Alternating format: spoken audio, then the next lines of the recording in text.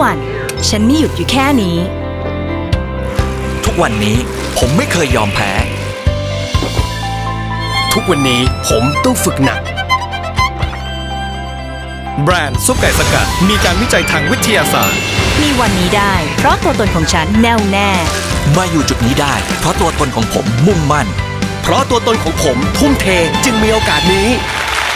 ทุ่มเทสู่จุดหมายทุกวัน เดิมแบรนด์